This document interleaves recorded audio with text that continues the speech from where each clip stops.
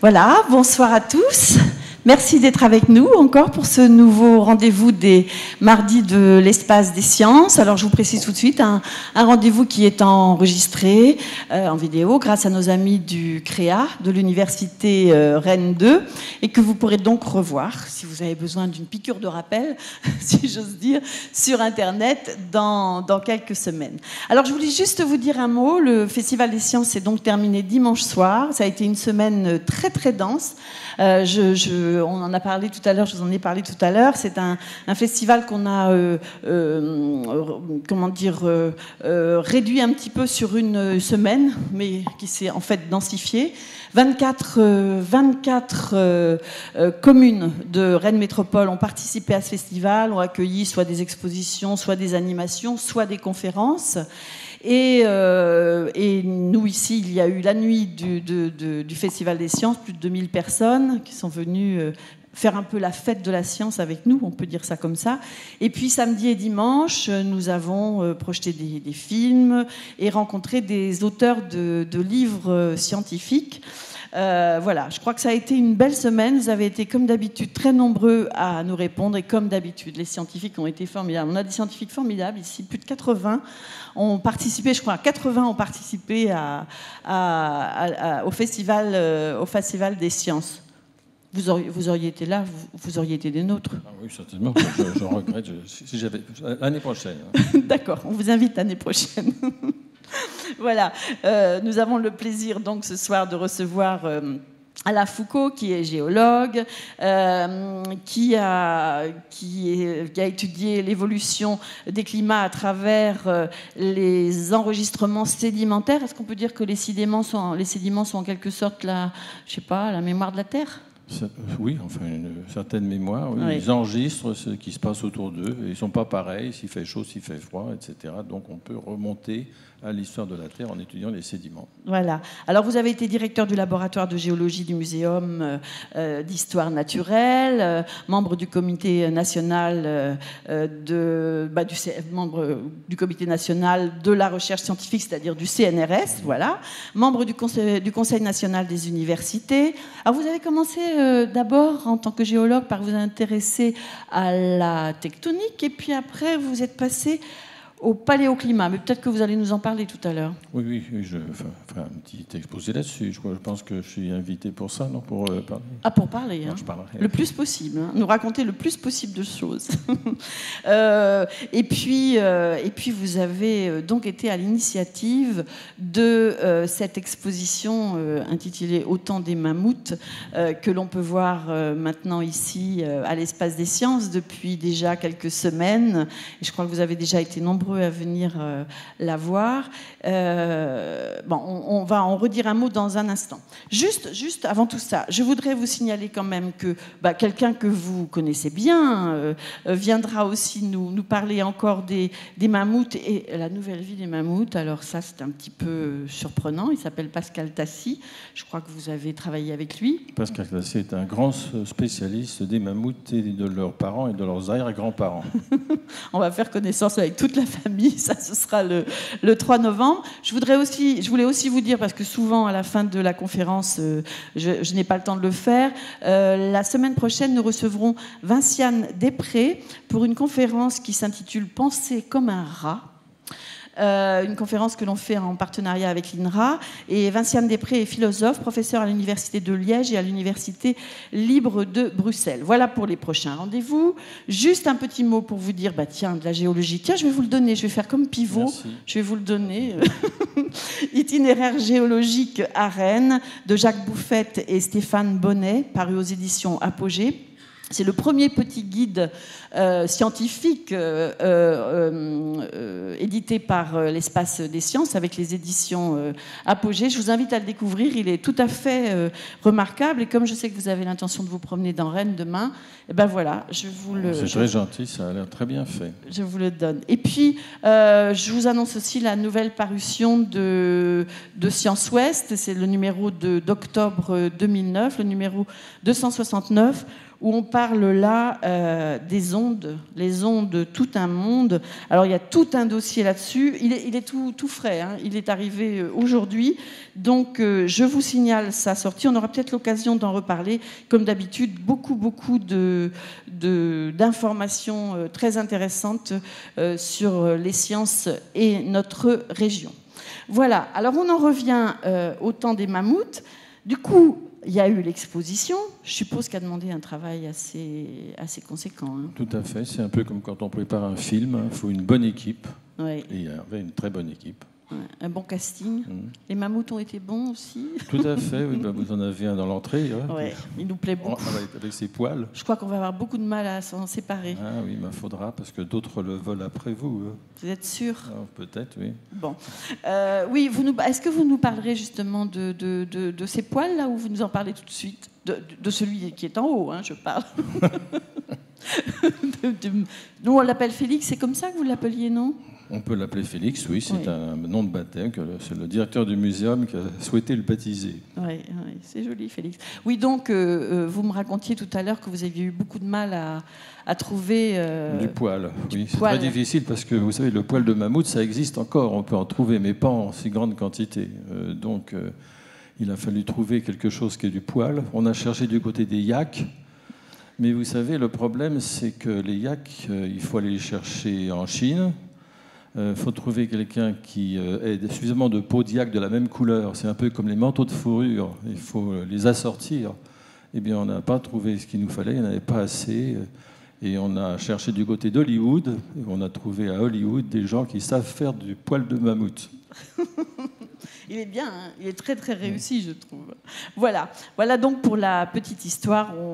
On, va d'abord écouter euh, cette conférence Vie et mort des, mammouths, et puis après, bien sûr, comme d'habitude, vous aurez la parole pour, euh, pour poser toutes vos questions. Et euh, je voulais vous signaler aussi que vous pouvez emprunter ces livres à la bibliothèque de Rennes Métropole, au troisième étage. Il y a une table hein, avec tous les livres concernant les mammouths, et ben, il y a entre autres celui-ci, Alain Foucault des mammouths et des hommes parus, je crois, en, en quatre... quelques années. Il y a quelques années, oui, en mars 2005. C'est pas si vieux, hein C'est pas vieux. C'est pas si vieux, avec une très belle image. Mais alors, il faut, vous, ça, vous, vous la verrez pas parce que c'est. C'est un, c'est un petit peu difficile. Vous êtes un peu trop loin, mais c'est un livre là euh, intéressant. Celui-ci, ben, c'est le catalogue de l'exposition. Autant des mammouths, en quelque sorte, non? C'est un livre qui a été fait à l'occasion de l'exposition. oui, voilà. Très bien illustré. Et puis un livre qui n'est pas de, vous, mais de euh, Francis Latreille, avec des textes de Bernard Buig et une préface d'Yves Coppens. Euh, vous me disiez tout à l'heure que Bernard Buig était un personnage tout à fait euh, étonnant. C'est un explorateur qui s'est mis dans la tête de sortir des mammouths. Ouais, et il est fort. Et il l'a fait. il est fort, vous m'avez dit. Il sait, il sait travailler avec avec, euh, ben, à l'époque, quand il l'a retrouvé, c'était avec les soviétiques. Oui, tout à fait, oui, mais maintenant encore, parce que quand on va dans ces régions euh, très septentrionales, euh, en Sibérie, eh bien, il faut travailler avec les gens et c'est pas toujours très facile. Hmm. Bon, eh bien, on vous écoute et on vous retrouve tout à l'heure pour les questions. Très, très bonne soirée à tous.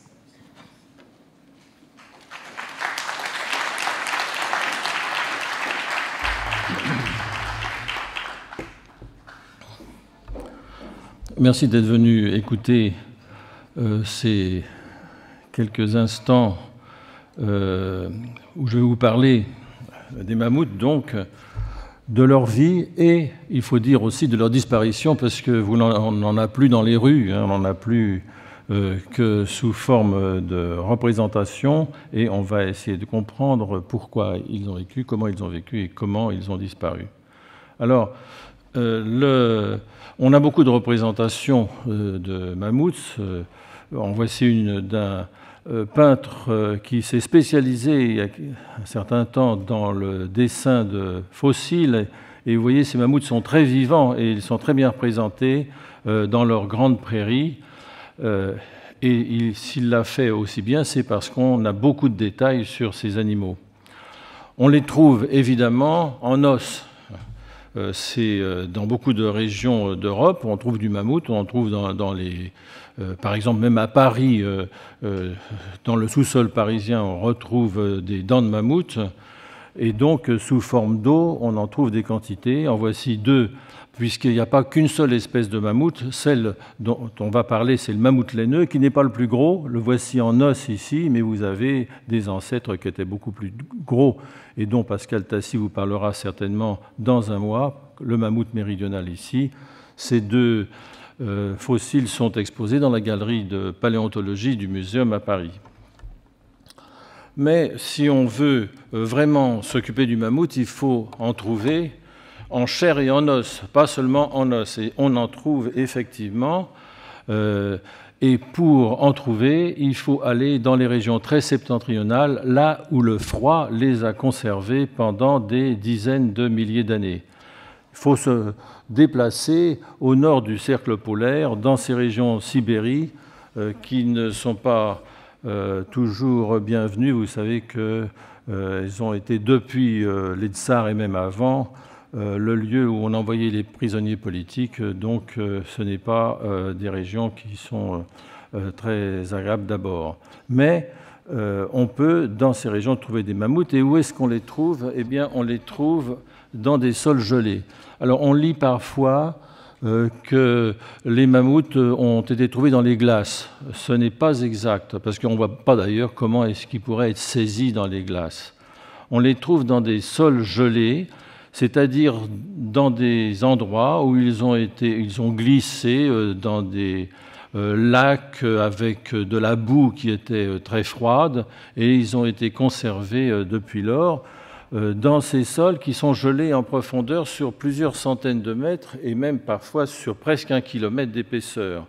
Alors ces sols dégèlent, dégèlent sur une cinquantaine de centimètres en été, mais au-dessous, euh, ce qu'on voit ici, cette tranche euh, qui a été faite par le creusement d'une rivière, eh bien, euh, on voit que c'est tout blanc parce que l'eau qui est à l'intérieur des sols gèle et donne de la consistance au sol, mais c'est un sol qui, et non pas de la glace, qui a comme ça permis la conservation de ces animaux pendant des milliers d'années. Dans ces régions sibériennes, ça fait très longtemps qu'on exploite l'ivoire de mammouth. Et on en a extrait des tonnes et des tonnes. D'ailleurs, j'ai encore un atlas où il est indiqué euh, comme substance euh, utile dans le nord de la Sibérie, euh, ivoire fossile. Et il y a encore aujourd'hui un grand commerce de l'ivoire fossile. D'autant plus que, comme vous le savez certainement, L'utilisation de l'ivoire des éléphants a été interdite pendant assez longtemps et elle l'est encore en très grande partie. Et l'ivoire fossile a été beaucoup utilisé pour faire des objets en ivoire.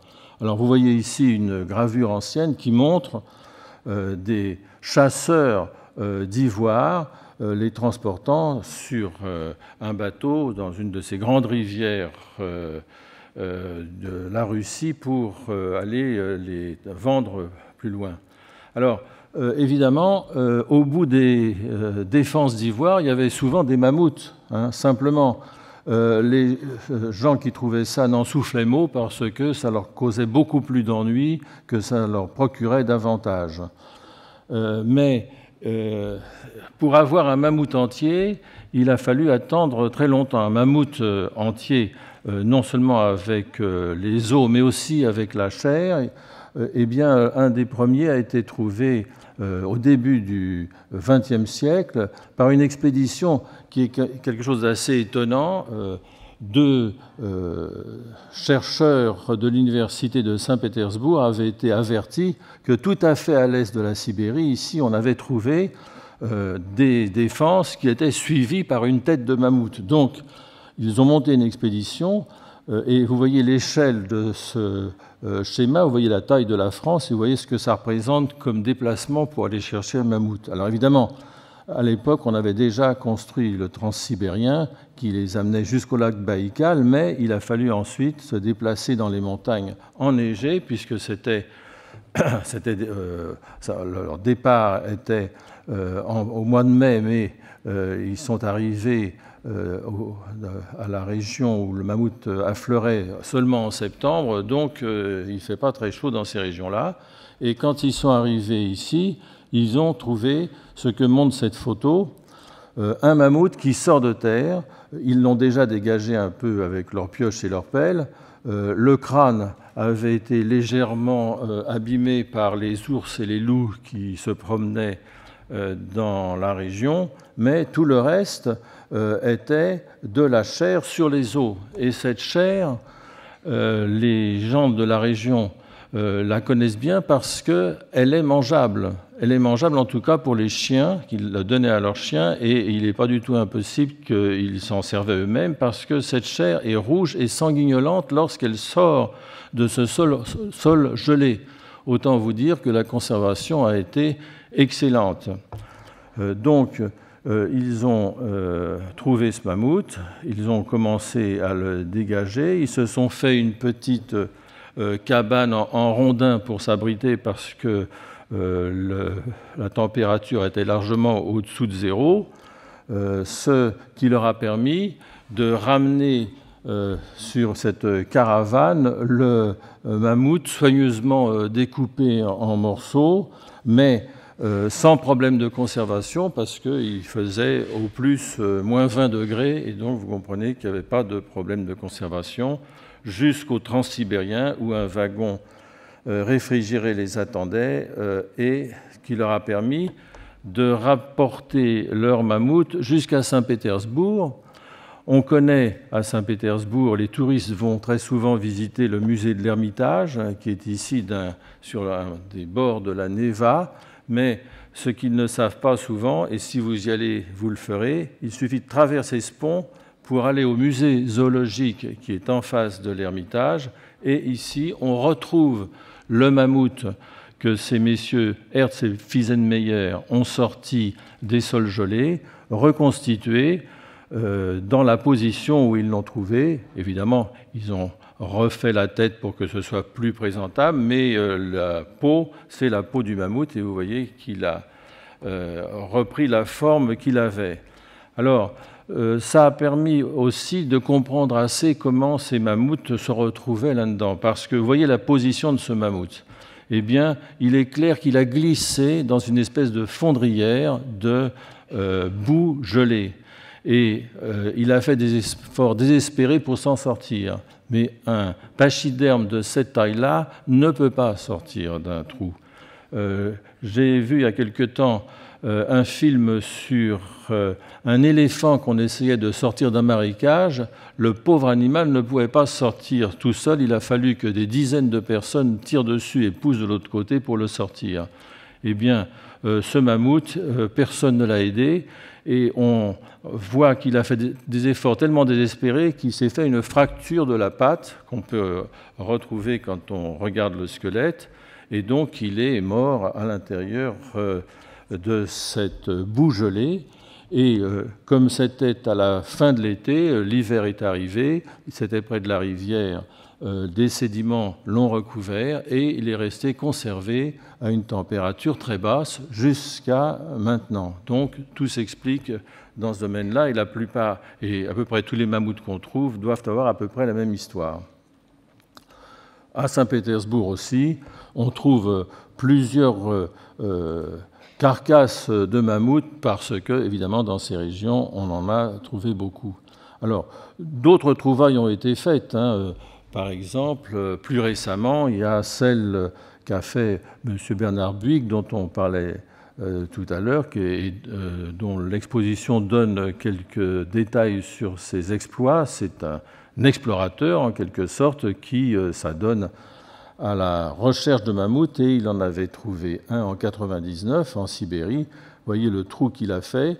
Euh, et puis euh, le morceau euh, qu'ils ont sorti de ce permafrost, hein, c'est un morceau qui est entièrement gelé hein, et qui n'a pas été dégelé pour conserver au mieux ce mammouth, qui a été soulevé avec beaucoup de difficultés par un puissant hélicoptère et amené jusque dans une cave euh, sibérienne aussi, une cave qui a comme particularité, comme toutes les caves de cette région-là, d'être dans le permafrost, c'est-à-dire à environ moins 30 degrés centigrades.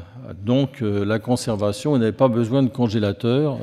elles sont en général pour le poisson, mais là, vous voyez que c'est un autre animal qui a, pris la place et on n'a aucune crainte de le voir se dégeler euh, dans les jours qui viennent.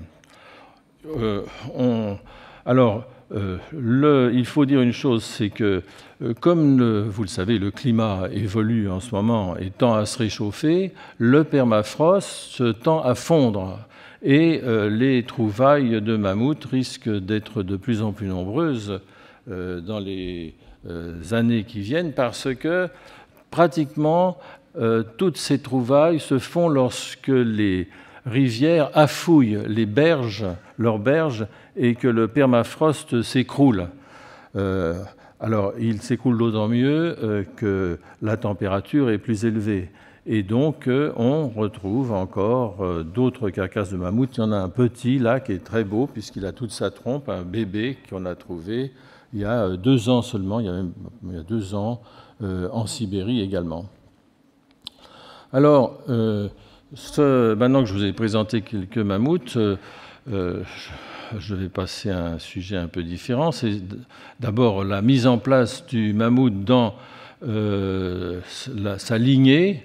Alors, je crois aussi que M. Tassi devrait vous donner quelques explications plus importantes à ce sujet-là, mais je dois vous dire donc que le mammouth est le fruit d'une longue évolution qui date d'il y a plus de 50 millions d'années, et que cette évolution euh, a donné euh, lieu à plusieurs espèces, euh, le mammouth lui-même, les éléphants qui sont ses cousins, il n'y a pas de, lignée qui fait part des éléphants et passe par les mammouths, qui passe des mammouths et passe par les éléphants, c'est un cousinage, cousin aussi, un autre animal qui ressemble beaucoup au mammouth, qui est le mastodonte, euh, qui a des dents un peu différentes, mais qui a euh, des parentés évidentes. Et alors que les éléphants eh bien, ont subsisté jusqu'à nos jours, euh, le mammouth et le mastodonte ont terminé leur existence il y a à peu près 10 000 ans, à quelques exceptions près.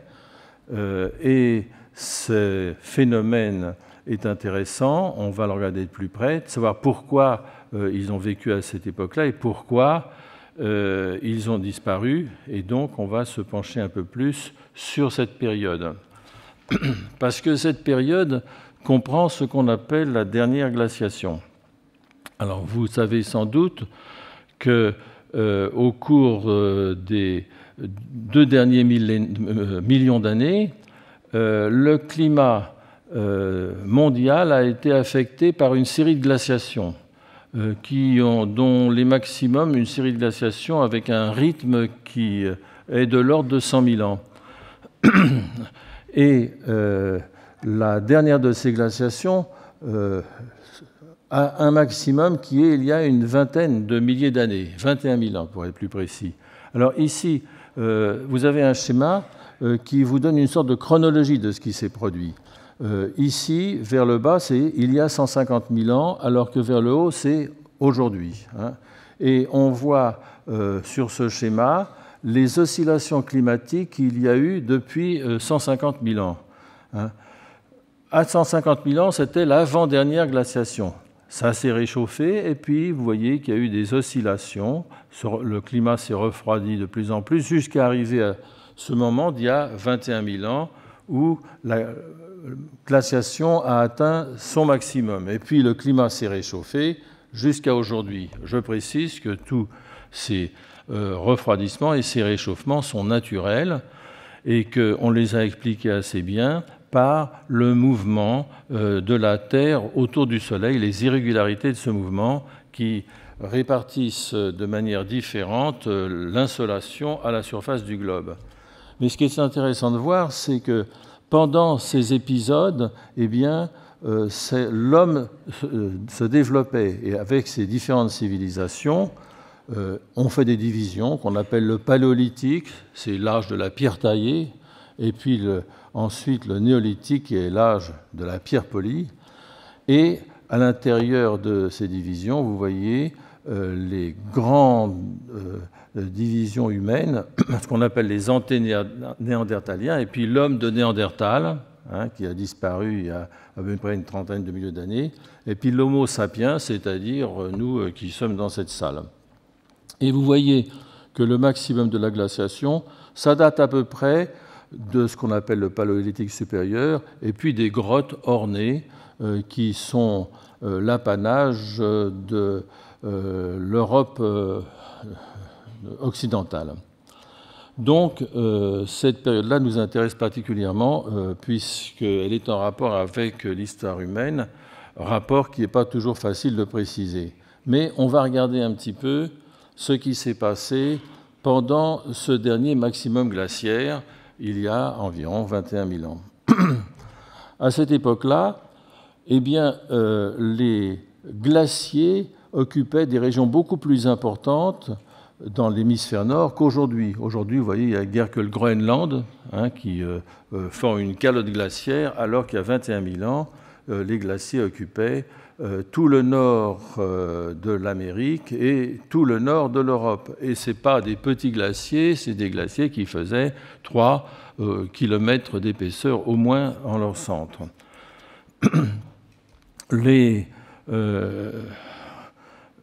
ceci s'explique par le fait que les températures moyennes étaient plus basses qu'aujourd'hui. Si on prend simplement l'Eurasie, c'est-à-dire l'Europe et, l'Asie, eh bien, euh, les moyennes étaient plus basses de 10 degrés centigrades, ce qui fait quand même beaucoup. Euh, les glaciers étant euh, très répandus, l'eau qui était stockée dans ces glaciers était soustraite aux océans et le niveau des mers était plus bas de 120 mètres qu'aujourd'hui. Non seulement le climat était froid, mais il était beaucoup plus sec et la végétation était très différente en Eurasie par rapport à aujourd'hui, cette végétation, c'était la steppe et la toundra. Alors, euh, quelques précisions sur ces températures pour montrer euh, combien euh, c'était différent d'aujourd'hui. ici, j'ai indiqué un certain nombre de différences de température par rapport à aujourd'hui, d'après certains auteurs. Vous voyez que dans le nord de l'Europe, moins 16 à moins 14 degrés par rapport aux moyennes d'aujourd'hui. ici, euh, en Bretagne, ça devait être à peu près euh, moins 10 euh, degrés par rapport à aujourd'hui. Hein. Et comme la moyenne ici de température annuelle, ça doit être dans les 11 degrés, la moyenne ici, c'était de 1 degré. La différence est sensible. Et vous voyez que plus on est au nord, plus ces différences par rapport à aujourd'hui étaient importantes. De même, pour les précipitations, le climat était beaucoup plus sec qu'aujourd'hui. Par rapport à aujourd'hui, euh, dans nos régions, moins 500 à moins 1000 mm de précipitations. Comme ici, euh, je, dois faire à peu près 600 euh, mm par an. Si on retire 500 mm, vous voyez qu'il pleut plus beaucoup. Hein. Donc à Rennes, 1 degré centigrade de moyenne annuelle et puis 100 mm de pluie. C'est vraiment très différent comme climat aujourd'hui. Alors pour essayer euh, de comprendre comment ça se passe, je vous ai retrouvé un, diagramme qui indique ce qui pousse en fonction de la température et des précipitations dans une région. Il y a un monsieur qui a fait ça, il y en a beaucoup qui l'ont fait, mais celui-là me paraît assez parlant. Vous avez ici euh, une échelle des températures annuelles et ici une échelle des précipitations annuelles. Alors évidemment, plus il pleut, plus c'est humide, hein, et si euh, le climat est très chaud et très humide, on a la forêt tropicale. Hein, ça c'est très clair. Et puis euh, si, il pleut pas du tout, on a des déserts. Eh bien, il y a 21 000 ans, quelle était la situation dans nos régions? Eh bien, c'était celle-ci. Hein. On avait un climat qui était ce qui est à peu près entouré par ce trait rouge, et ce qui poussait dans ces régions-là, c'était la toundra et la steppe. Alors qu'est-ce que c'est que la toundra et la steppe? La toundra, c'est ce qu'on trouve actuellement tout à fait au nord de la Sibérie, végétation très réduite, c'est-à-dire presque rien, seulement des lichens et des mousses. Hein, pas grand-chose, quelques plantes aquatiques euh, là où il y a des, des mares, puis quelques petits buissons qui poussent, Les hivers sont très longs et très froids, les précipitations sont peu abondantes, comme je vous l'ai dit, et puis les sols sont gelés en permanence. Hein. donc euh, ce n'est pas quelque chose qui est très très habitable. La toundra, c'est ça. Hein. Voilà une photo qui vous montre une région de toundra. Euh, il pousse donc presque rien que des mousses. Il y a pas mal de lacs et de euh, marais, alors qu'il pleut très peu. Tout ça parce que le sol est gelé. Alors évidemment, l'eau ne pénètre pas dedans et ça donne des régions euh, de ce type. Régions qui sont très difficiles à traverser euh, l'été parce que le sommet du pergélisol fond et ça fait une boue affreuse et euh, ça rend pas les communications extrêmement faciles.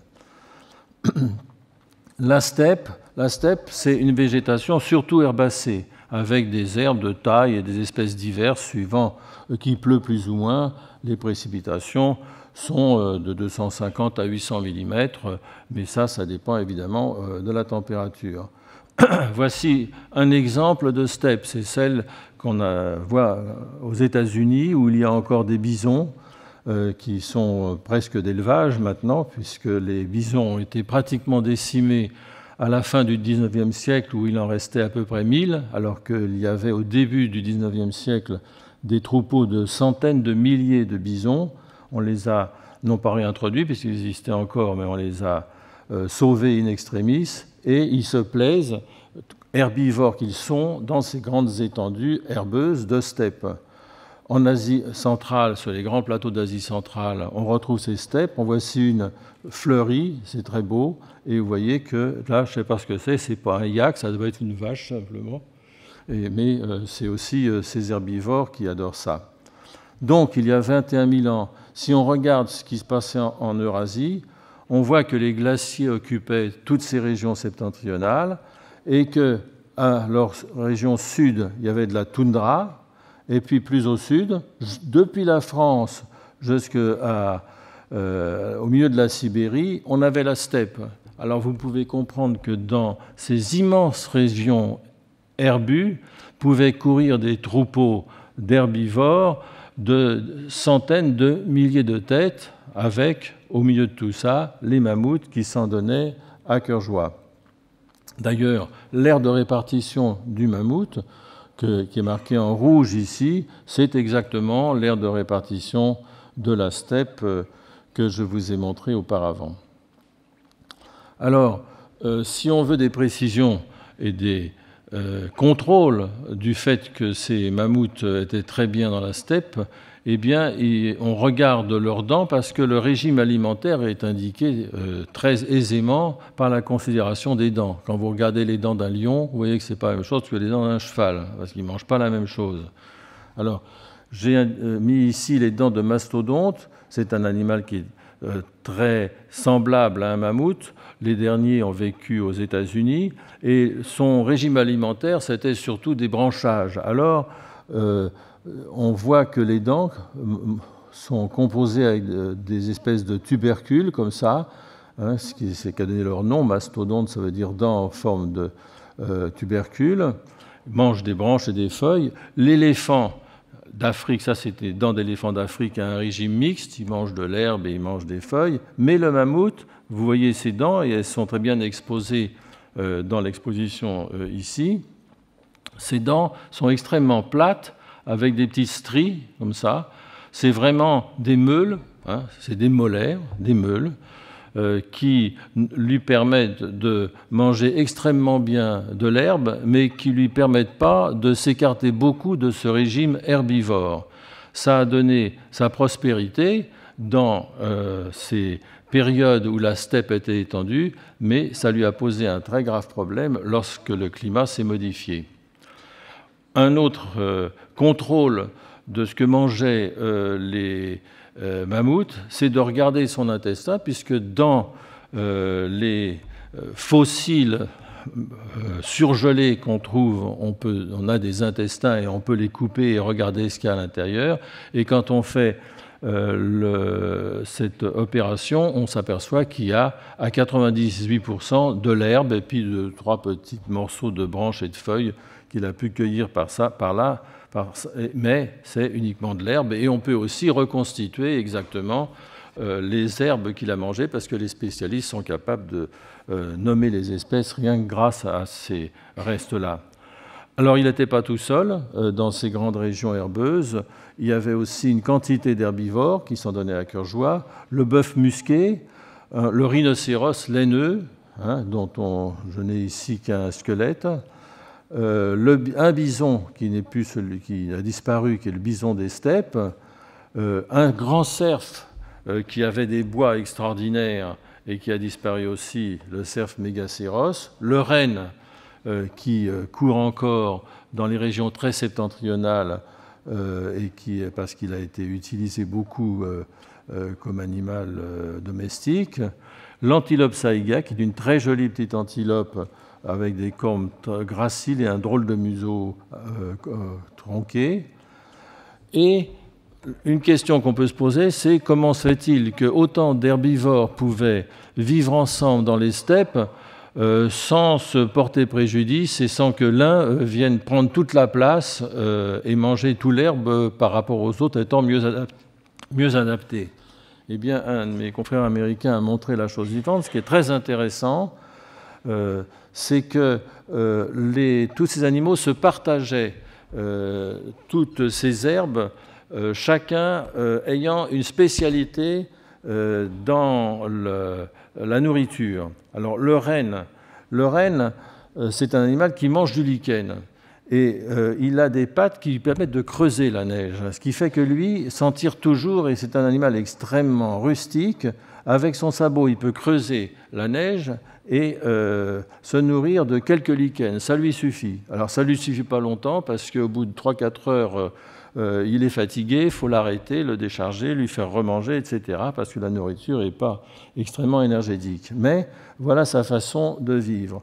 Le rhinocéros laineux, euh, le rhinocéros laineux mange des herbes très courtes, très près du sol. Alors ça, on le sait parce que le euh, sa corne ici est usée vers le bas. On voit très bien qu'il traînait son museau euh, par terre.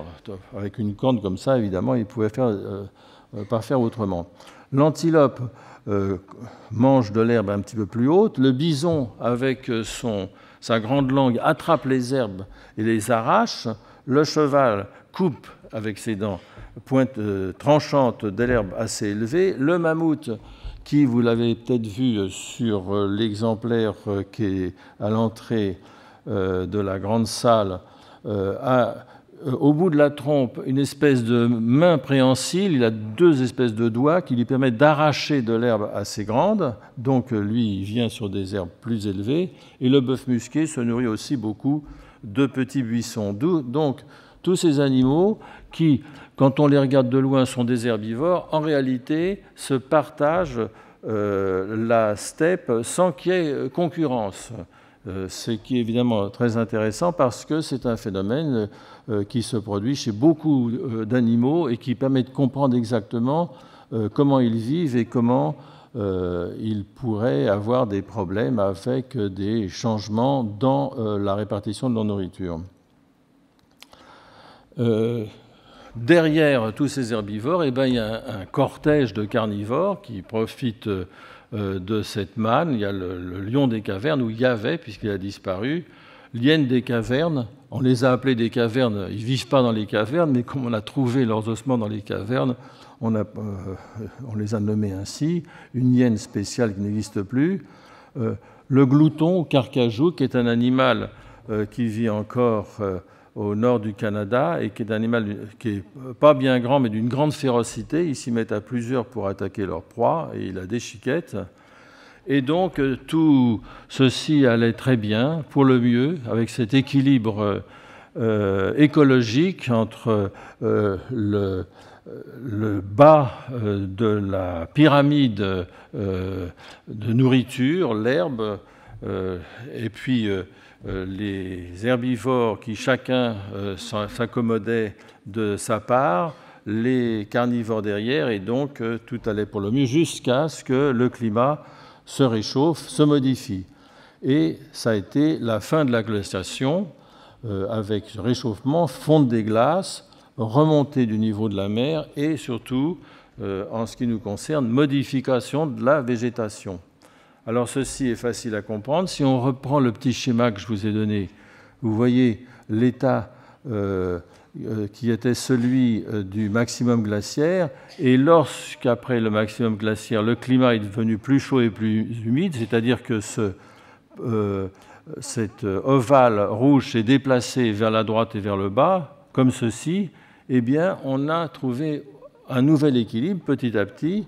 Et ce qui était toundra est devenu forêt boréale, la forêt boréale qu'on appelle aussi taïga dans le nord euh, de la, euh, de la Sibérie, c'est la forêt avec euh, les pins, les sapins, les mélèzes.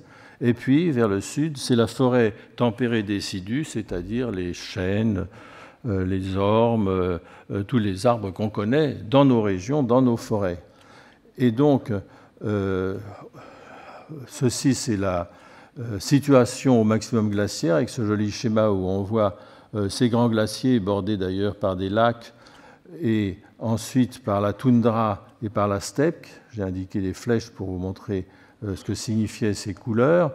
Euh, il y a 10 000 ans, euh, toundra et steppe ont été gagnés petit à petit par une végétation arborée, le climat se modifiant, se réchauffant et devenant plus humide, et progressivement, toutes ces régions ont été recouvertes de forêts, forêts diverses suivant les endroits, mais forêt qui a chassé pratiquement entièrement toutes ces steppes et repoussé les toundras tout à fait au nord. Ce qui fait que entre les deux périodes importantes qui sont celles d'il y a 21 000 ans, je vous ai montré ce schéma tout à l'heure, c'était au moment de la grande glaciation avec ici la toundra, ici la steppe, eh bien, il y a 9 000 ans, vous voyez que ce qui était toundra a été repoussé tout à fait au nord, que s'est installé au sud ce qui est en vert foncé ici, qui est la forêt, euh, la forêt de conifères euh, taïga, et ce qui est en vert plus tendre ici, euh, qui sont les forêts tempérées, avec essentiellement des chênes, des ormes, etc. Et donc, plus de steppes pratiquement, sauf des petites taches par-ci par-là, ce qui évidemment a causé euh, pour une grande part la disparition euh, de ces grandes faunes euh, qui avaient comme nourriture les herbes, ces grandes faunes d'herbivores qui n'avaient plus ces grands espaces stépiques. Ont disparu le cerf mégacéros, le mammouth, le rhinocéros laineux, le lion des cavernes, évidemment, et j'en passe, c'est des meilleurs. Et puis, euh, certains ont réussi à se sauver, euh, soit parce qu'ils ont retrouvé des espaces euh, qui leur correspondaient, soit parce qu'ils étaient un peu moins exigeants sur la nourriture. C'est vrai en particulier pour le renne, dont je vous ai dit qu'il se suffisait de lichens. Alors les lichens, il en a trouvé tout à fait dans le nord de la Sibérie ou dans le nord du Canada, et donc dans ces régions-là, il a subsisté.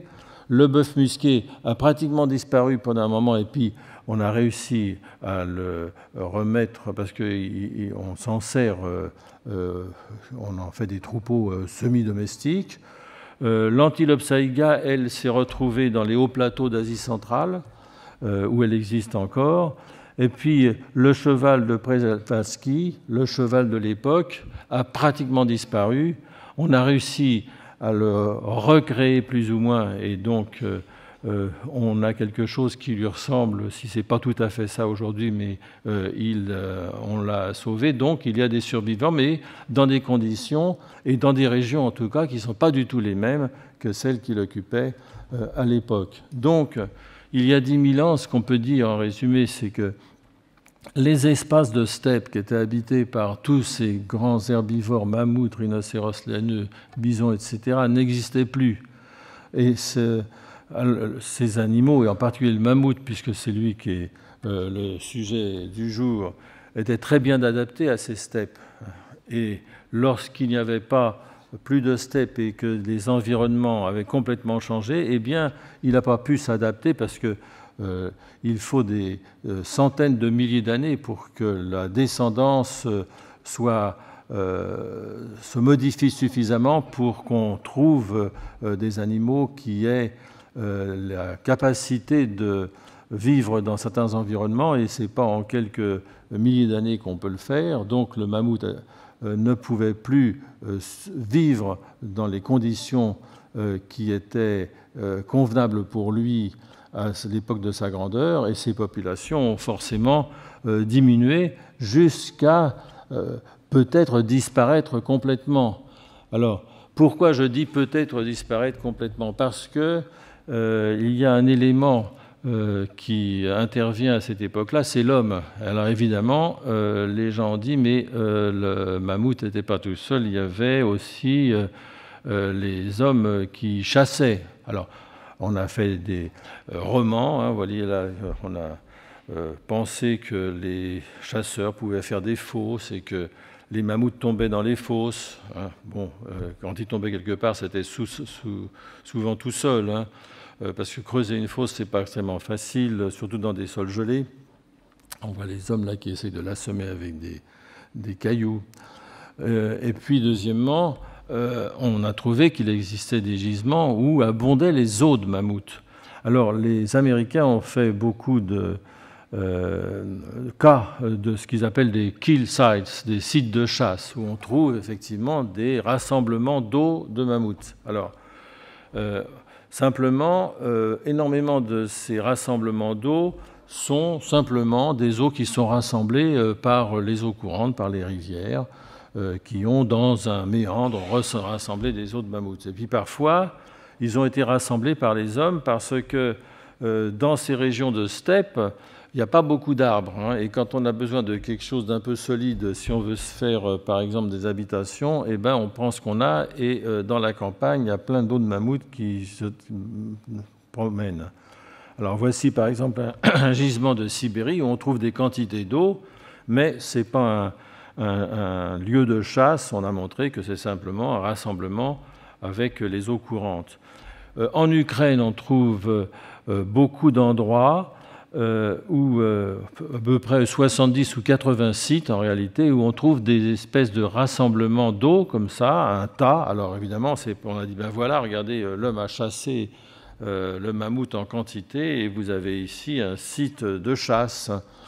Et quand on a regardé ça attentivement, on s'est aperçu que non seulement les eaux étaient rassemblés, mais qu'ils étaient bien triés et que euh, si on essayait de comprendre comment ils étaient, eh bien, euh, c'était euh, des cabanes qui étaient fabriquées avec ces eaux. Parce que, évidemment, quand on voit comment ils sont rangés, alors tout s'est écroulé, évidemment, mais quand on voit comment ils sont rangés, on voit que ce n'est pas le hasard du tout. Et comme on a plusieurs dizaines d'exemples de ça, l'affaire est entendue, euh, tous les tas d'eau euh, de, cette sorte d'Ukraine, ce sont d'anciennes, euh, on dit des huttes, on dit des cabanes, on ne sait pas très bien s'ils habitaient, parce que ce n'est pas tout à fait une, une tente de camping. Il hein. faut, s'y mettre à plusieurs et ça ne se fait pas en quelques minutes. Donc, ce n'est pas vraiment une habitation qu'on délaisse euh, qu'on fabrique le matin pour euh, délaisser le soir. Ça avait un rôle qu'on n'a pas encore très très bien saisi, mais enfin, on est certain euh, du fait que c'était des constructions. Donc,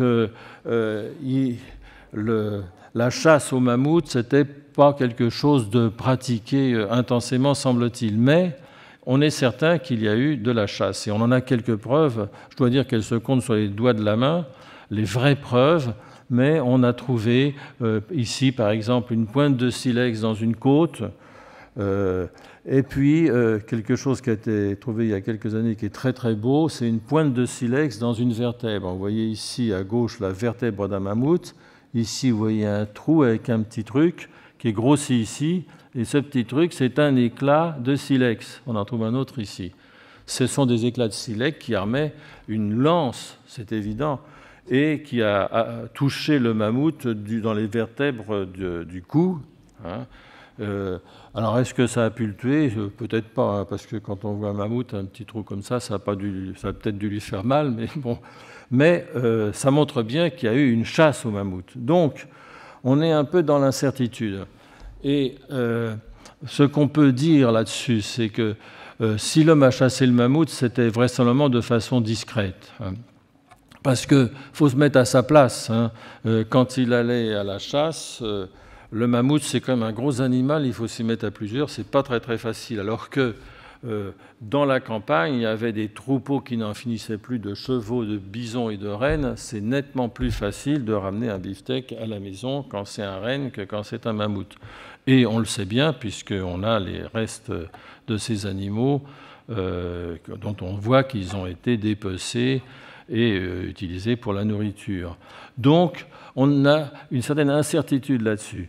Il est possible que la chasse, même s'il n'a pas été pratiquée euh, sur une grande échelle, a été en quelque sorte le coup de grâce pour euh, les mammouths qui, de toute manière, étaient tout à fait diminués par rapport à l'époque de leur grandeur. Et si on veut conclure, au moins d'une manière provisoire, c'est que les modifications de l'environnement, qui ont été très importantes entre la euh, glaciation, le maximum de la glaciation et la fin de cette glaciation, mais ça a duré quand même 10 000 ans, toutes ces choses-là, eh bien, euh, cette euh, euh, modification de l'environnement, qui, vous l'avez vu, je crois assez nettement, a bouleversé les paysages. Les paysages étaient très très très différents depuis pendant, entre le début et la fin de cette période, eh bien, a privé toutes ces herbivores de ces grands espaces de steppes qui s'étendaient sur des milliers et des milliers de kilomètres. Et donc, n'ayant plus ces espaces, eh bien, ils ne pouvaient pas être en nombre aussi abondant, c'est évident, ils ne pouvaient même plus exister. Alors, ont-ils disparu complètement à cette époque-là à cause euh, de cette modification de l'environnement? C'est difficile d'en être certain. L'homme a peut-être, et même, on peut même dire certainement, joué un rôle là-dedans, mais euh, la modification de l'environnement avait porté un coup extrêmement sévère à tout cet équilibre euh, euh, biologique. Alors, cette évolution, si vous voulez, est quand même pour nous une leçon sur ce qui se passe quand on a des modifications climatiques. Et vous savez qu'on est en face aujourd'hui de modifications climatiques que nous, que nous provoquons par nos activités. Et il est évident que euh, euh, l'élévation de température qui s'est déjà produite, qui va continuer à se produire, aura un impact très important sur les paysages et donc un, impact très important euh, sur toute la faune qui est abritée ou qui prend sa subsistance de ces paysages. Et donc, ceci se produira coup sûr, et pas en 10 000 ans, hein, en euh, quelques euh, siècles ou quelques fractions de siècles. Et donc, on peut penser que euh, la considération de ces évolutions passées donne un modèle pour l'avenir et ça nous permet de réfléchir à notre propre avenir. Voilà, je vous remercie de m'avoir écouté. Je suis prêt à répondre à vos questions.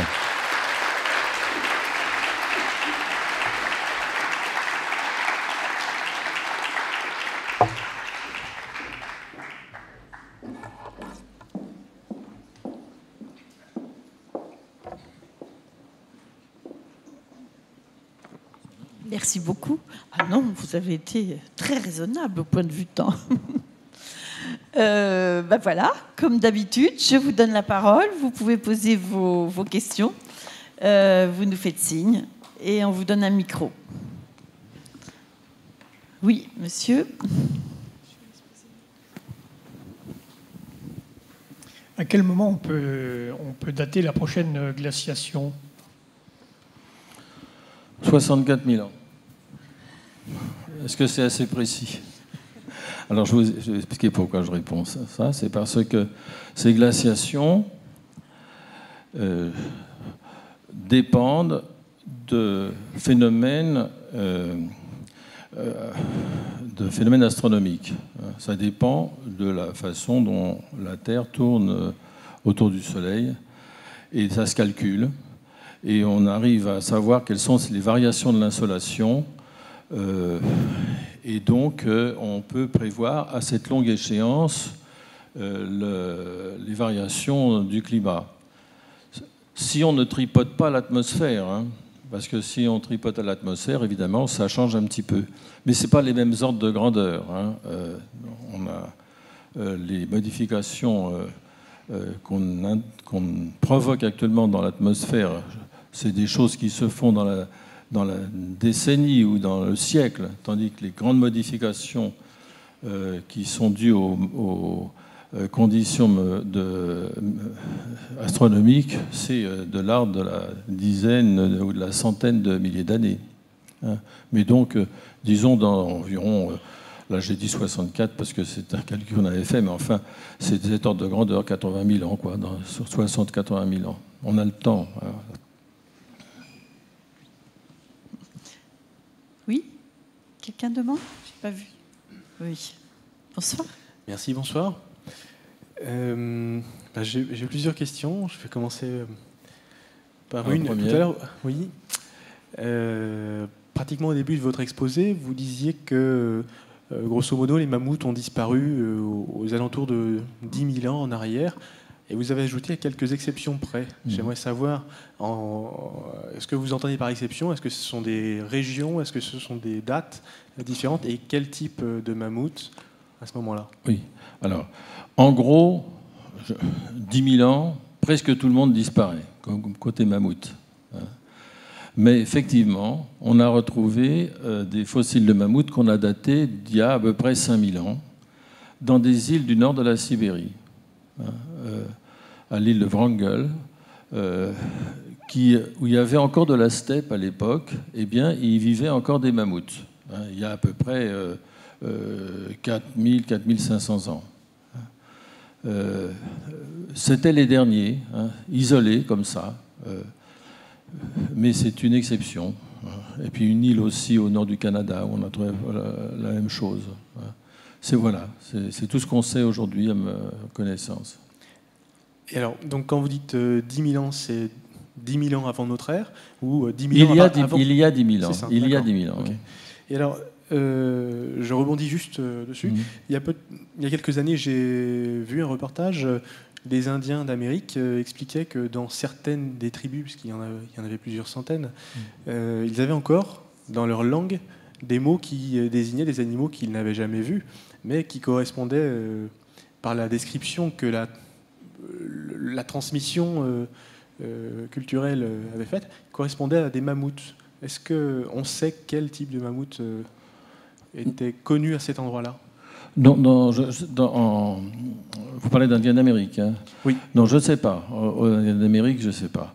Euh, je n'avais pas entendu parler de ça.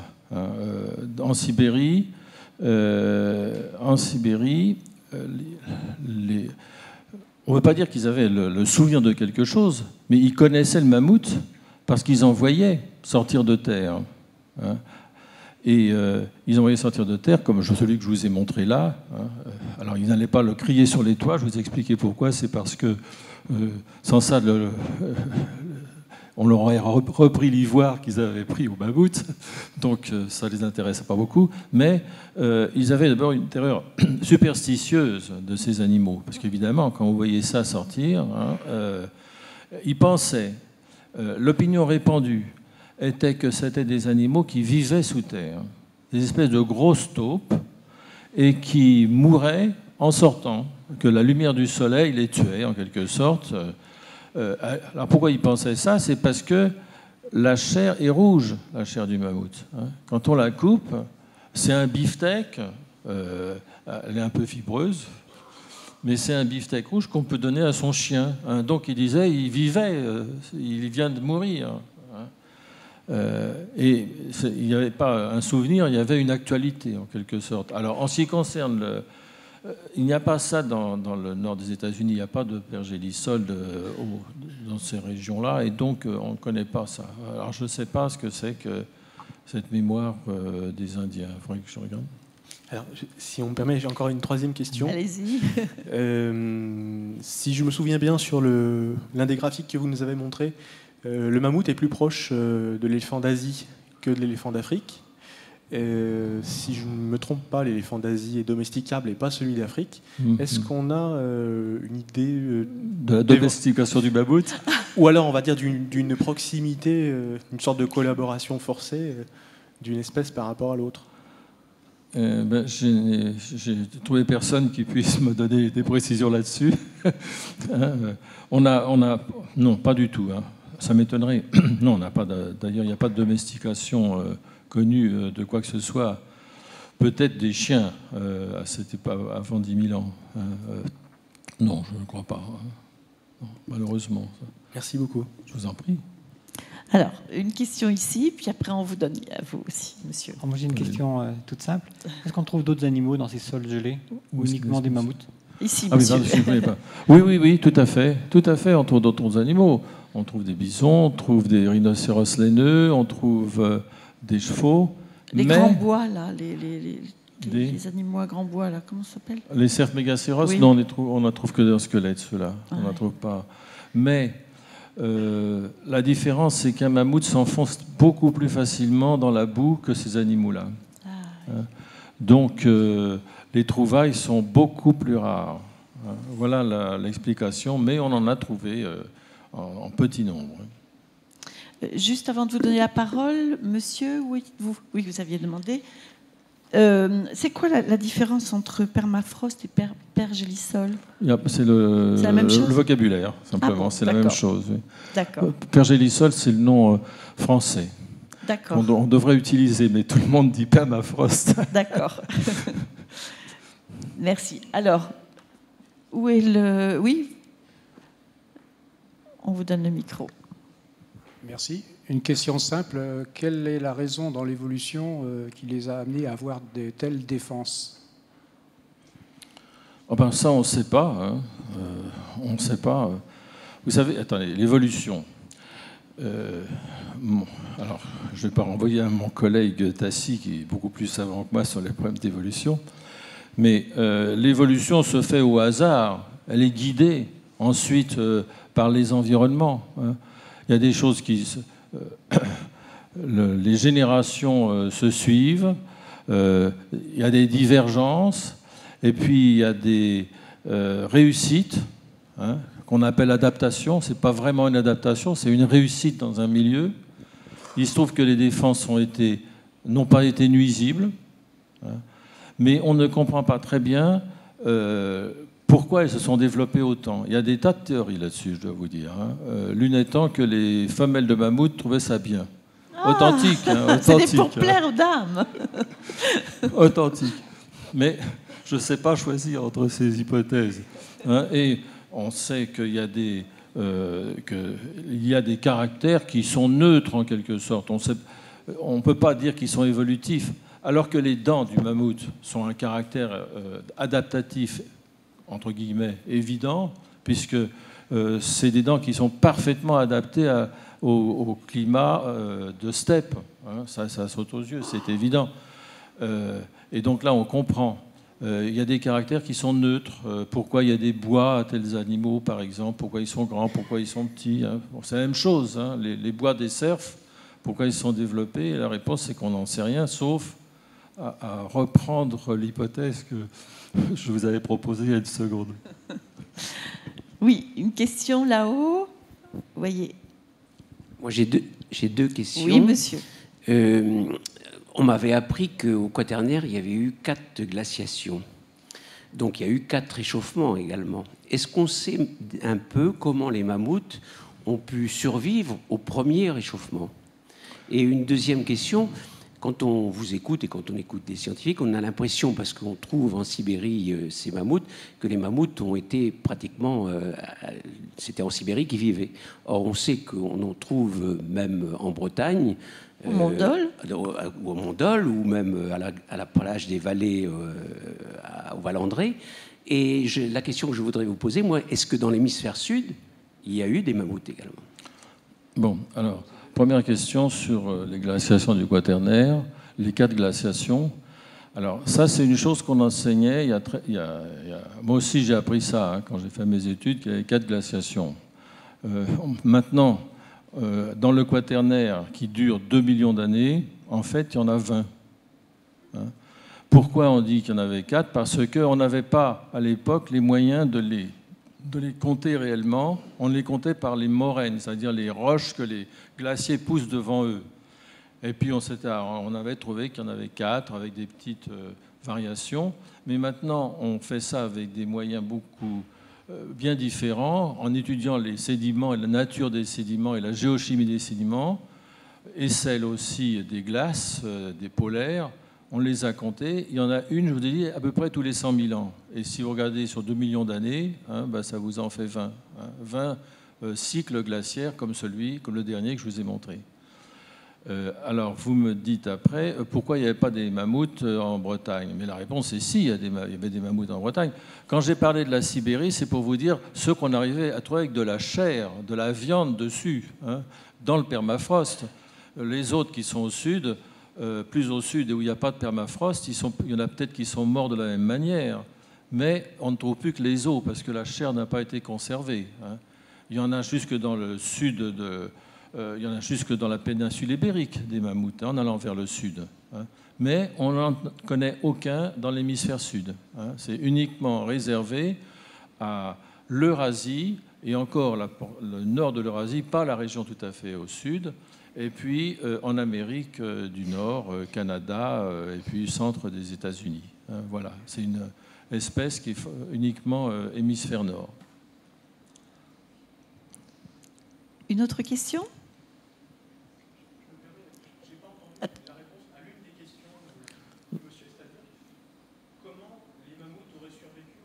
Oui, alors, comment les mammouths ont survécu aux autres et pourquoi ils n'ont pas. Voilà. Alors, vous avez raison de poser cette question, et c'est pour ça qu'on dit que l'homme a peut-être mis la patte hein, dans la dernière euh, euh, phase. C'est que euh, avant, il leur est arrivé des choses qui devaient être à peu près identiques, c'est-à-dire que les, leurs espaces vitaux ont dû être resserré à un certain moment entre dans les interglaciaires. Dans les glaciations, ils étaient très contents, il y avait plein de steppes, on pouvait cavaler avec les bisons et tout ça, c'était formidable. mais dans les interglaciaires, là où ça se réchauffait, euh, la situation était moins agréable. Ce qui est vrai pour les mammouths est vrai pour plein d'animaux et de végétaux aussi. Hein. Mais ils se retrouvent dans ce qu'on appelle des refuges. Hein. Et si euh, ils arrivent à conserver une certaine dimension de troupeau, parce qu'au-dessous d'un certain nombre, on sait qu'une espèce disparaît. Mais s'ils arrivent à se euh, grouper dans un endroit où les conditions sont encore favorables, et eh bien après, ils vont reprendre du poil de la bête quand les conditions redeviendront favorables on connaît ça pour les végétaux, par. Ah bah, on n'est pas dans le sud, on sait qu'il y a des tas de régions où il y a des végétaux qui sont conservés dans des endroits encore très frais et qui avaient un grand succès au moment de la dernière glaciation. Et puis maintenant, on n'en trouve presque plus, sauf à certains endroits qu'on appelle des refuges. Pour les animaux, c'est pareil. Alors, on peut dire que dans la dernière glaciation, eh bien peut-être que l'homme a été à l'origine de la destruction des derniers refuges un des derniers endroits où il y avait encore des mammouths euh, qui arrivaient à survivre. C'est une hypothèse qu'on ne veut pas rejeter, mais j'ai manque de preuves pour vous le dire. Mais effectivement, on peut suspecter une chose de ce genre-là. Ça expliquerait euh, pourquoi ils ont survécu à ce moment et pas à la dernière euh, glaciation. Une autre question? Voilà. Bonsoir, monsieur. Bonsoir, madame. Euh, j'ai vu sur un schéma euh, que les mastodontes euh, commençaient à 5,5 millions années. De, de 5 millions à 3 millions mm, mm, mm, en ce qui concerne les mammouths, qui sont donc leurs cousins,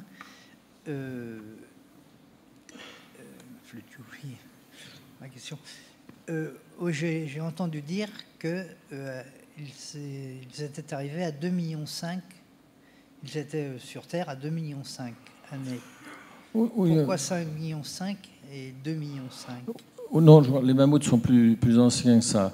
C'est-à-dire que les mammouths ont une origine africaine. Euh, vous savez, euh, oui, Ce, sont des lignées hein, qui remontent très loin dans le passé. Hein. Mm. Tout ça remonte à, à l'expansion des mammifères qui euh, date d'il y a 55 millions d'années, quand tous les grands reptiles ont disparu hein, euh, pour euh, cause de catastrophes.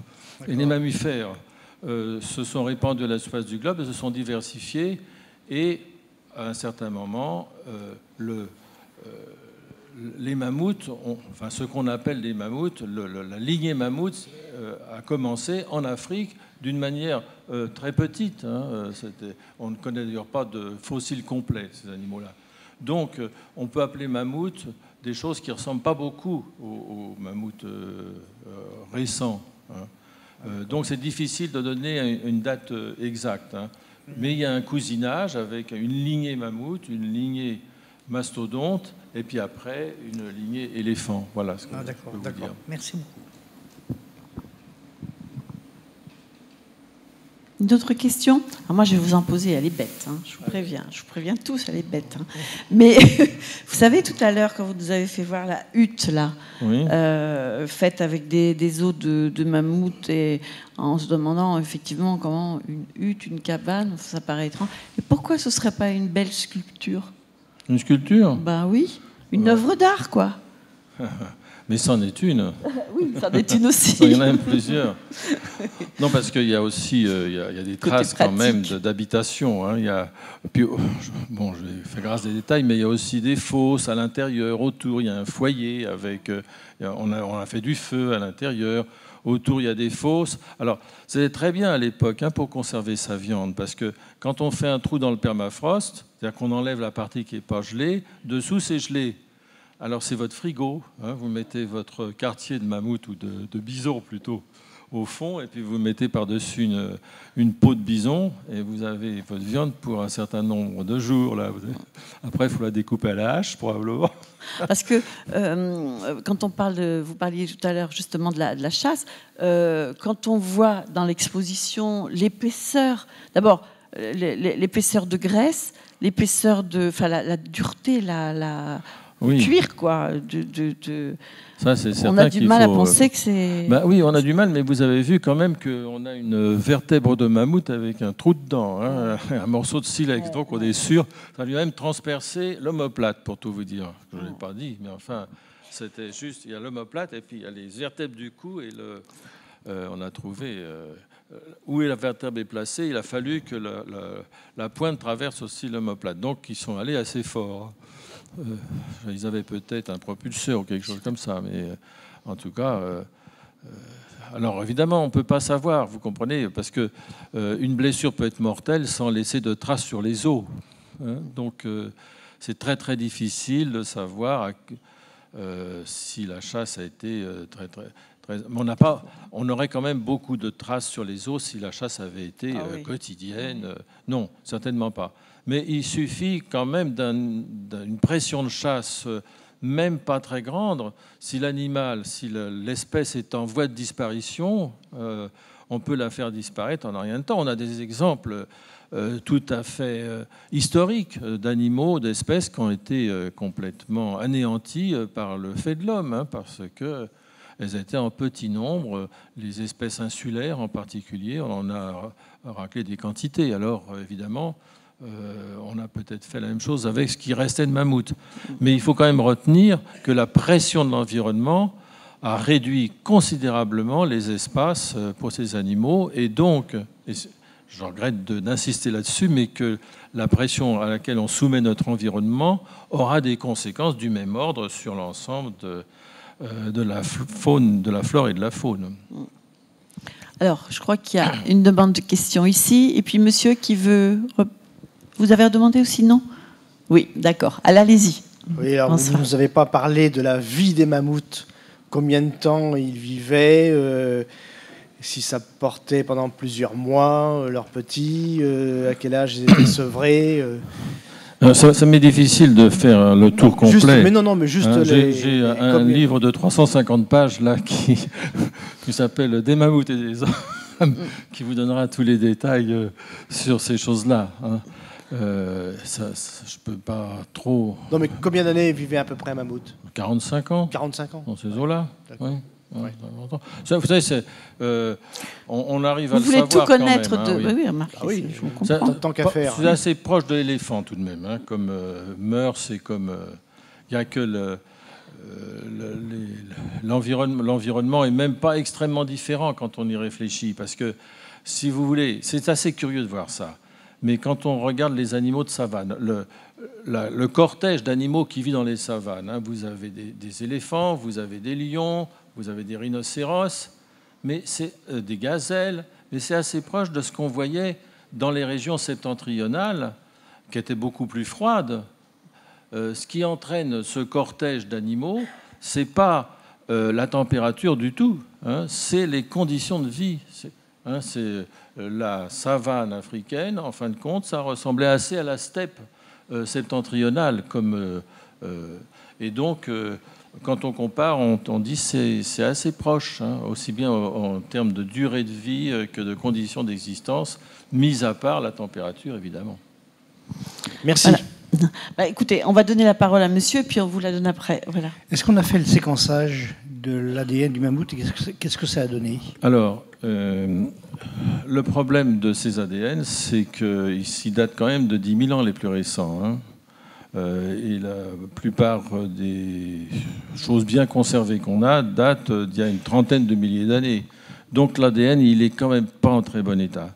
Hein, quand on voit la viande, elle paraît euh, comme neuve, mais quand on voit les cellules, elles en ont pris un coup. Donc, euh, les, plusieurs équipes se sont penchées sur ce problème du séquençage. Euh, ils en ont séquencé des morceaux, hein, mais pas. euh, on n'a pas trouvé de chromosome entier, par exemple. hein. Ils espèrent petit à petit, en les raboutant en trouvant, arriver à quelque chose qui est figure humaine. Mais c'est quand même c'est un, un pari. hein. Évidemment, il y a tout ça euh, pour dire que on aimerait bien un jour reconstituer un mammouth, hein, trouver un- un- des cellules qui soient en bon état pour essayer de refaire du mammouth. Bon, euh, je ne sais pas, il y a des gens qui croient, d'autres pas. Euh, mon collègue Tassi n'y croit pas beaucoup. Euh, moi, je ne suis pas spécialiste de l'ADN, euh, mais je ne sais pas très bien ce qu'on ferait d'un mammouth. hein. D'ailleurs, il en faudrait au moins deux, un mâle et une femelle, ça serait plus commode. Mais il n'y a plus d'espace pour le mammouth. C'est ça le problème, son problème. Alors faire un parc euh, jurassique, non, mammouth park, euh, c'est pas, je pas, euh, je trouve pas que ce soit euh, une opération à laquelle il faille s'attacher vraiment. Mais enfin, on a euh, séquencé des morceaux, quoi, actuellement. Monsieur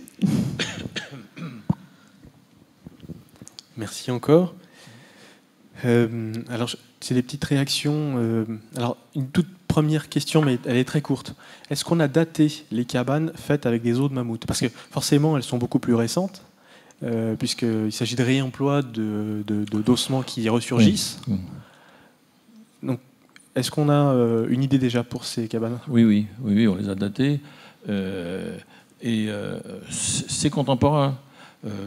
Dans les, vous savez, elles sont plus. Il y avait beaucoup de mammouths. hein. C'était des trous. Enfin, il n'y avait pas de, troupeaux de centaines de milliers comme de bisons, parce que. Il faut se rendre compte que les troupeaux d'herbivores, c'est une quantité de têtes incroyable. hein. Euh, c'est difficile de se rendre compte dans la préhistoire, mais dans l'histoire, les troupeaux de bisons euh, euh, américains, c'était des centaines de milliers de têtes qui parcouraient ensemble en troupeau le- les espaces euh, euh, de- des prairies américaines. Et les mammouths, il y en avait certainement beaucoup dans le paysage. Ils mouraient, il y avait leurs os partout, c'était facile à récolter. Et donc c'est subcontemporain. hein. S'il y a euh, un siècle dans une cabane, la plupart sont subcontemporains de la construction de la cabane. Peut-être quelques-uns traînaient ici depuis euh, 50 ans, par exemple, mais c'est tout. Hein. C'est pas euh, repris de euh, 10 000 ans derrière. hein. Voilà le- le- ce qu'on sait actuellement de toutes ces cabanes-là. hein. Mhm. Pas très bien, non? Ah, Oui, allez. Et à voix haute euh, Si Oui, ça y est, ok. ça y est, ça y est. Ok, ok, c'est bon. Euh, donc, ces cabanes-là auraient au plus euh, 50 ans, 100 ans, c'est ça? Ou, ou est-ce qu'elles sont euh, à la date de l'Antiquité ou... Non, attends. Non, j'ai j'ai peut-être mal Elles ont été moi. construites au temps des mammouths avec des mammouths qui étaient autour. D'accord, Parce au que non seulement, Mhm. non seulement il y avait des os, mais Mhm. même on, on a vu, par, il- il- ça ne devait pas sentir tellement bon, mais il y a des, des bouts de mammouth dedans avec des colonnes vertébrales entières. D'accord, Il devait y d'accord. avoir de la, de la viande autour. Ah, Donc Donc c'est c'est contemporain du mammouth. D'accord, Je ramasse le mammouth ici, euh, voilà. C'est pas euh, 10 000 ans après qu'ils les ont construits. Ok, ça. quand vous disiez subcontemporain, je n'étais pas sûr. euh, Oui, je me suis- Je peux, je peux juste ajouter encore. euh, Encore une, et puis euh, parce qu'il y a quelqu'un d'autre qui demande oui, la et parole. hein. après, ce sera promis. euh, je rendrai. Ah non, non, non. Donc, est-ce que le mammouth est un, un animal euh, migrateur en fonction des saisons ou est-ce qu'il était sédentaire quelque part? Certainement, certainement, certainement, obligatoirement d'ailleurs, parce que le, il y a un battement saisonnier euh, dans ces régions septentrionales, et euh, évidemment, euh, le mammouth ne peut pas manger quand il y a de la, quand il, il y a de la neige. hein. Lui, il lui faut de l'herbe qui, soit saisissable. C'est pas, Ah oui. c'est pas comme le renne qui, lui, euh, arrive à se débrouiller. Il a, il a neigé, ça fait rien. Avec mon grand pied, je, je gratte. Mais le mammouth, non. hein. Donc, euh, il devait certainement euh, avoir une migration saisonnière. hein. C'est tout ce qu'on sait. On ne sait pas s'il migrait plus que ça. Saisonnier, ça, on en est sûr. Et alors, par rapport au, au mammouth, c'est le prolongement. hein. Euh, dans, dans ces migrations, peut-être, euh, donc on a retrouvé des, des ossements de mammouth euh, au pied du Mont Dol, euh, la roche de Solutré, Mhm. d'autres endroits comme ça. Des mammouths qui seraient tombés, hein, pas juste des dents de mammouth qui, qui reviennent portées par les, par les flots sur la côte. hein, mais est-ce qu'on a maintenant plus de certitude à savoir est-ce que ce sont des accidents, le mammouth qui s'est un petit peu éloigné de son troupeau pendant une migration euh, et qui serait monté et retombé de l'autre côté, euh, ou est-ce que est-ce qu'on a euh, des traces de peut-être de chasse ou de quelque chose qui laisse à penser que c'est un acte délibéré humain qui aurait conduit quelques mammouths sur plusieurs milliers d'années à tomber dans ces endroits-là? Non, je ne pense, je pense pas tomber. Non, je ne crois pas qu'on on n'a pas d'exemple de ça. hein. Je vous dis, on a suspecté, euh, il, y a long- il y a un certain temps, on pensait qu'ils faisaient des fosses pour qu'ils tombent dedans. Mais en fait, on n'a pas trouvé, on n'a jamais trouvé la preuve de ça. hein. Euh, qu'il les fait tomber ici ou là, non, euh, on n'a rien. c'est- pas impossible, hein, je dis pas que c'est impossible, je dis qu'on a zéro preuve de ça. Même pas d'indice. Monsieur, vous Oui, voyez, vous voyez. Une, une question sur la chasse.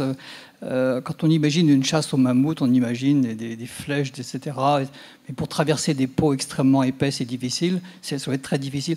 J'ai lu, je me souviens plus où, que l'une des techniques plausibles, alors je voudrais vous poser la question, est-ce que c'est plausible C'est d'atteindre la bête dans une partie extrêmement sensible et vulnérable, c'est-à-dire euh, l'anus et puis la partie, le sexe pour la femelle, avec une flèche infectée, ce qui n'est c'est a priori moins compliqué d'approcher l'animal par derrière que par devant. C'est une partie extrêmement sensible. On infecte la plaie et on attend. Ben, je ne sais pas parce qu'on n'a pas de- d'exemple de ça sur le babout. je sais pas ça. Mais ce qui se passe, il y a quand même les, euh, un exemple qu'on a, vous parlez de parties sensibles, sans aller jusqu'à celle euh, que vous évoquez. Il y a la chasse à l'éléphant euh, par les pygmées euh, se fait par-dessous l'animal. hein. Il se glisse sous l'animal et craque. Il enfonce une flèche, une lance dans le ventre. hein. Et c'est très efficace. Alors pour le mammouth, c'est peut-être un petit peu plus difficile quand même, parce qu'il a la peau vraiment dure. Encore une fois, ce sont des choses. Vous comprenez, le problème de la euh, préhistoire et de la paléontologie, c'est que c'est très difficile euh, de raisonner sur les parties molles, parce qu'on n'en a pas beaucoup. Sauf justement pour le mammouth, euh, qui, coup de chance, est le seul animal, un des rares fossiles qu'on peut manger. Parce qu'on en a mangé. Oui, monsieur. Alors, la première arrivée. T'as perdu Julie.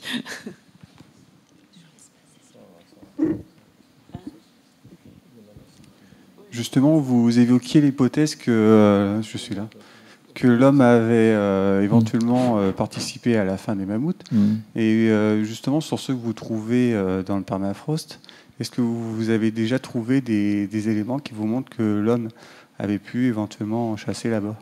Non, la réponse est non. On a zéro euh, blessure d'origine humaine sur les animaux trouvés dans les permafrost. Hein, ils sont comme neufs.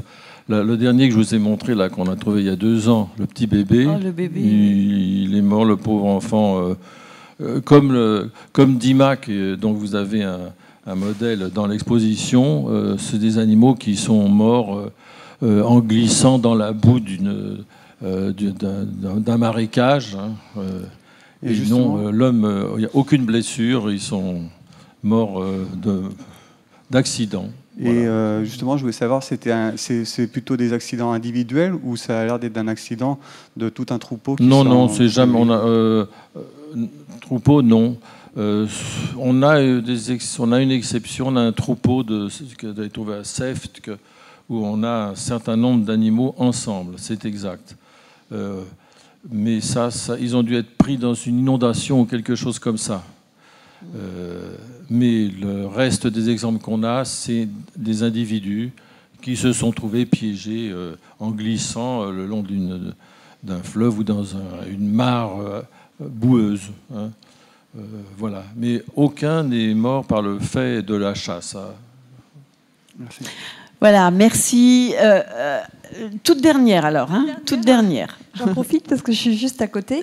Ouais, est-ce qu'on, euh, comment, dans le, la chair de mammouth, est-ce qu'on n'aurait pas euh, une piste aussi euh, sur leur disparition qui serait virus ou virus ou bactéries qui auraient pu Alors, éventuellement égoïstement, je vous ai fait part d'une hypothèse qui me paraît la plus vraisemblable, sur, en tout cas sur le, le fait de au moins la disparition des mammouths et la difficulté qu'ils ont eue après les modifications climatiques. Mais il y a des gens qui ont d'autres explications. Hein. Effectivement, il y a un Américain qui a dit ça doit être un virus. Euh, qui a. bon, c'est un Deus ex machina, c'est facile de dire c'est un virus, on ne l'a pas trouvé, hein, de toute façon. Euh, d'autres ont dit, euh, mais ça aux États-Unis seulement, euh, c'est les Indiens qui ont débouché il y a 12 000 ans depuis le détroit de Bering et qui ont tué tous les mammouths devant eux. C'est une explication qui vaudrait pour l'Amérique, mais qui ne vaut pas du tout pour l'Eurasie, puisqu'on n'a pas ce phénomène-là. donc, je pense que celle qui conduit à dire que les modifications climatiques ont entraîné des modifications de l'environnement, plus d'herbe et le pauvre mammouth et les autres très mal à l'aise, est une bonne euh, avancée quand même. Voilà.